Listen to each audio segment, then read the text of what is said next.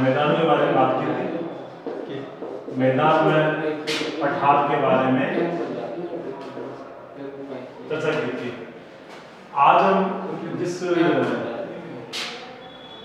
भौगोलिक या भारतीय भौतिक प्रदेश से बात करते हुए आगे बढ़ते हैं। भौतिक प्रदेशों में मैंने बताया भारत के पाँच भागों में पाँच भौतिक प्रदेशों में डिवाइडेड किया गया है। इसमें से आपको मैंने तीन करवा दिए हैं। चौथा चल आपका तटीय मैदान। तटीय मैदान। तटीय मैदान भारत का तटीय मैदान में बात करें तो भारत की लोकेशन एक बार फिर से थोड़ा सा जी दक्षिण भारत का मैप है। इसमें अपन बात कर रहे हैं। तो तटीय मैदान मैंने बताया था कि भारत जो दक्षिण का पठार है वो बीच वाला भाग ये दक्षिण पठार बीच वाला भाग है। इसके दोनों सिरों पर दोनों किनारों पर दो सकरे और लंबे तटीय मैदान है जिनके बीच ये ये आपका इधर बंगाल की खाड़ी। और जो इसके इस प्रायद्वीप के पूर्व में बंगाल खाड़ी और प्रायद्वीप के पश्चिम में आपका अरब सागर है। इस दक्षिणी पठारी भाग के दोनों किनारों पर दो लंबी सं, लंबी संकलाबद्ध पहाड़ियाँ हैं, जो ऊंचाई भी कम काफ़ी कम है, लेकिन इसे दोनों तटों को बोलते हैं अपन घाट या पूर्वी घाट या पश्चिमी घाट नाम से पुकारते हैं। तो इन जो तटीय भाग है, इनसे कुछ दूरी पर जो घाट बने हुए हैं, इनके जो घाट और किनारे के बीच वाला जो भाग है, वो जलोढ़ द्वारा या यहाँ से निकले हुए नदी द्वारा लाए गए, काँप मर्द से इस तटीय निर्माण हुआ है। जिसे दो बताया मैंने पूर्वी घाट और ये पूर्वी घाट बना पूर्वी तट। ये पूर्वी तट है और ये पूर्वी घाट है। ये पूर्वी तट और ये हो गया पूर्वी घाट। और ये हो गया पश्चिमी तट और ये पश्चिमी घाट। इस प्रकार दोनों मतलब पूर्वी घाट के से पूरब में और तट के बीच में जो भाग है, वो तटीय मैदान कहलाते हैं। इसी प्रकार इसमें भी ऐसा ही है। पूर्वी घाट और पश्चिम घाट में ही है पश्चिम घाट से लेकर पश्चिमी तट के बीच में जो भूक्षेत्र है, वो नदी बेसिन का जो क्षेत्र है, वो कहलाता है, पश्चिमी घाट, पश्चिमी तटीय मैदान कहलाता है। तो इसको तीन इसको तीन भागों में बांटा गया है।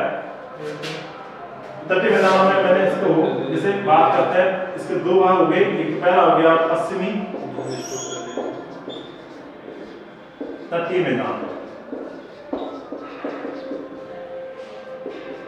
भाग बांटते हैं अपन पहला है काठियावाड़ काठियावाड़ का मैदान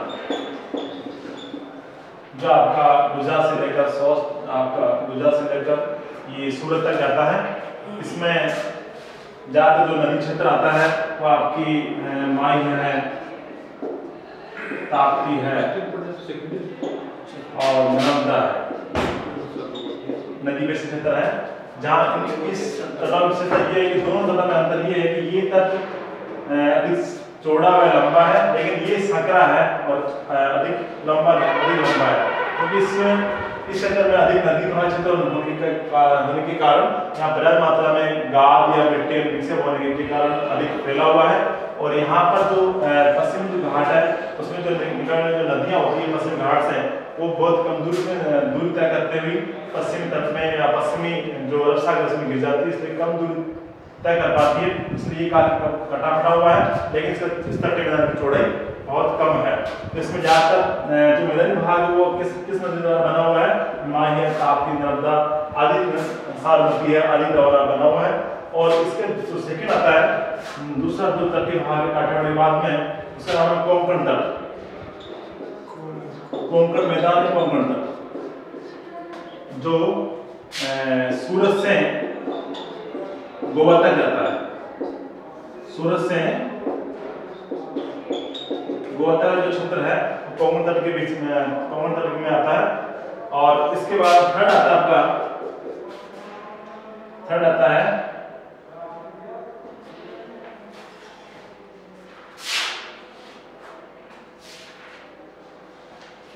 मलाबार तट मलाबार जो गोवा से कुमारी अंतिम तक लेकर यहाँ तक जो सत्य भाग है खंबात खाड़ी से लेकर दक्षिणी जो कुमार तक जो क्षेत्र है, वो पश्चिमी घाट के रूप में आता है। जो तीन भागों में डिवाइड किया गया है, पश्चिम तटीय मैदान में, एक पहला काठियावाड़ मैदान, दूसरा दूसरा आता है कोंकण तटीय मैदान, तीसरा आता है मलाबार तटीय मैदान।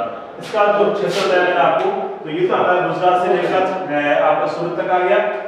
कौन सा? काठियावाड़ का आता है, गुजरात से। सूरत तक का जो क्षेत्र है, वो काठियावाड़ तक आता है। और सूरत से लेकर जो गोवा तक आता है, वो आता है कोंकण तक और जो गोवा से लेकर जो मंदिर तक जाता है, उसे बोलते हैं मलाबार तक इस प्रकार ये तो हो गया पश्चिमी घाट का जो वर्गीकरण है वो था। थर्ड इसका आता है, दूसरा आता है इसमें।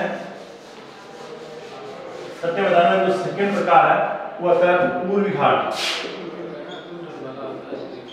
पूर्वी घाट। पूर्वी घाट भारत के जो बंगाल की खाड़ी के समानांतर है। इसकी लंबाई लगभग पंद्रह सौ किलोमीटर के आसपास है और चौड़ाई इसकी अधिक है। यानी इसकी चौड़ाई लगभग साठ से एक सौ पचास किलोमीटर के आसपास है। ये तट बंगाल की आपका जो कोलकाता बंदरगाह है? कोलकाता बंदर यानी बांग्लादेश जो कोलकाता बंदरगाह है? वेस्ट बंगाल से शुरू होकर लास्ट में जो आपका कन्याकुमारी तक फैला हुआ है। कन्याकुमारी तक। संगम फैला हुआ है। इसमें रहा है कि नदी में क्षेत्र आते हैं। इसमें आते हैं आपकी महानदी है। कसना है। गोदावरी है, कावेरी, आदि नदी तो है दो होती है आदि नदी से पैदा होती है। जो नदियाँ इसमें से जो सभी नदियाँ जो निकलती है, वो पूरी घाट से निकलती है। सॉरी ये नदी जो क्षेत्र, जो पूरी घाट, जो नदी मैदान इसका यहाँ हुआ है। तो ये नदी जो क्षेत्र होता है, ये पश्चिमी घाट से निकलकर ये यहाँ तक रहती है तो यहाँ तक यहाँ ढाल गमन के कारण यहाँ पर अधिक मात्रा में निर्माण अधिक हो कारण निर्माण कर देती है। इस कारण अधिक है इसलिए इसमें इसमें दो तीन तीन भाग बटे हुए हैं एक तो इसका आता है, उत्तरी भाग, एक मध्यवर्ती और एक दक्षिण भाग, तीन भागों में डिवाइड किया गया है। उत्तरी भाग को बोलते हैं उत्कल का तत्व मैदान, उत्कल का। तो तीन भागों में डिवाइड कर किया गया है। कोलकाता से कन्याकुमारी तक का भाग में एक उत्तर का, उत्कल का तटीय मैदान। दूसरा है दूसरा है उत्तरी सरकार तट और तीसरा है तीसरा आपका कोरोमंडल तट। तीन तटों में डिवाइडेड है। उत्तर में आपका आता है, ये वेस्ट बंगाल से लेकर उड़ीसा वाला जो क्षेत्र आता है, इसमें ज़्यादातर महानदी है, या सोन नदी वाला क्षेत्र आता है। और इसके बाद जो सेकंड भाग आता है आपका में ज़्यादातर गोदावरी कसना वाला क्षेत्र आता है, जहाँ पर इसका तटीय भाग जोड़ा हुआ फैला हुआ है बंदरगाह भी बने हुए हैं विशाखापट्टनम विशाखापट्टनम बंदरगाह फ़ेमस है। इसके बाद है दक्षिण भारत में, जो लास्ट वाला जो निचला छोर है, जो आपका चेन्नई से लेकर कन्याकुमारी तक। चेन्नई से लेके कन्याकुमारी तक का क्षेत्र इस प्रकार ये दो तटीय मैदान चौथा इसमें आता है चौथा इसमें जो शीर्ष साथ शामिल किया गया है, वो है द्वीप समूह। द्वीप समूह। भारत को भौगोलिक में डिवाइड किया कई किताबों में कई बुक्स में इसको पाँच भागों में डिवाइड किया गया है तो कई में चार दिखाया गया है। चार दिखाया है इसमें सच्चे मैदान और द्वीप समूह साथ जोड़ा गया है, और जहाँ पर कहीं में कहीं में इसको अलग अलग तटीय मैदान जो था और पाँचों द्वीप समूह में दिखाया गया है। द्वीप समूह बात करें तो भारत में दो प्रकार के द्वीप पाए जाते हैं। तो भारत में जो ये बंगाली की खाड़ी और अरब सागर मैंने आपको अरब सागर। तो बंगाल की खाड़ी अर्थात जो द्वीप समूह है, उन दोनों अंतर यह है कि जो बंगाल की खाड़ी में जो द्वीप समूह है, ज़्यादातर पर्वतीय द्वीप कहलाते हैं, जो किसी कारण से जलमग्न पूर्व जलमग्न थे और किसी प्रभाव से भौगोलिक या आंतरिक भौगोलिक विघटन के कारण ऊपर उठने से मतलब ऊपर उठने से द्वीप के रूप में दिन दिखाई मतलब दिखाई पड़ने लगे। और जो अरब सागर में है ज़्यादातर रोड कौन से है? प्रवाल द्वीप है मतलब। प्रवाल द्वीप है। और ये पर्वतीय द्वीप है। जवाहरलाल की उद्गार से निर्मित द्वीप कौन से खाड़ी में की खाड़ी में। और जो परवाल निर्मित जो द्वीप है, वो अरब सागर में आते हैं। कुल, जो भारत के क्षेत्र में जो परवाल, जो द्वीप संख्या है, दो है। इसमें से तीन द्वीप आपके बंगाल की खाड़ी में आते हैं। और 43 टेनिस द्वीप आते हैं अरब सागर में। ऐसे कुल मिला के दो सौ समूह में भारत में पाए जाते हैं, जो मैंने बताया इसमें बंगाल की खाड़ी में सर्वाधिक द्वीपों से किसमें बंगाल की खाड़ी में, जो तीन द्वीप आते हैं। सर्वाधिक मात्रा में जो द्वीप समूह आते हैं इसमें, वो आपके अंडमान, निकोबार द्वीप समूह। अंडमान में उत्तरी अंडमान है। अंडमान, और निकोबार द्वीप समूह है। बड़ा सबसे बड़ा द्वीप समूह है, जो भारत से मतलब वेस्ट बंगाल से लगभग छह सौ सात किलोमीटर दूर है। और ये ये बंदरगाह मतलब अंडमान, निकोबार द्वीप समूह है। इसमें उत्तरी अंडमान है, मध्य अंडमान है, दक्षिण अंडमान द्वीप समूह है। निकोबार है, कार निकोबार है, बड़ा निकोबार है, छोटा निकोबार है, ऐसे डिवाइडेड संकलनबद्ध द्वीप समूह के रूप में ऐसे बने हुई है। अक्षांश से विस्तार देखा जाए तो चार डिग्री उत्तरी अक्षांश से लेकर 10 डिग्री उत्तरी अक्षांश के बीच में उत्तरी अक्षांश तक फैले हुए हैं। और देहांतर की बात करें तो 92 डिग्री 20 मिनट से 93 डिग्री 20 मिनट पूर्व देहांत के बीच वाला देशांतर के बीच वाला जो क्षेत्र है, वो आपका बंगाल की खाड़ी में फैले हुए जो अंडमान निकोबार देशों उसका वर्गीकरण किया गया है।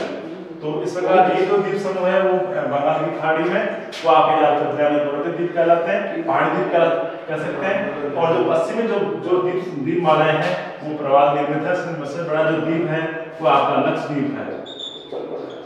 लक्षद्वीप है, इसके अलावा और तीन द्वीप है, वो अमीनी अमीनी कोय और एक मिनी कोय है। एक मिनी कोय द्वीप में इस प्रकार भारत में द्वीप संख्या कुल दो प्रकार से है। तो भारत के भौगोलिक प्रदेशों की बात करें तो इसमें कुल पाँच प्रकार के पाँच प्रकार के भौतिक प्रदेशों की बात की थी जो पाँच बारे में आपको डिस्कस कर दिया।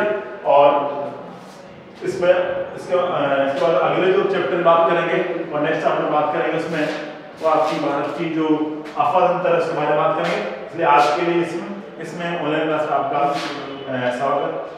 स्वागत है और आगे नेक्स्ट में आप इसमें जुड़े रहे ऑनलाइन क्लास लेते रहे। ओके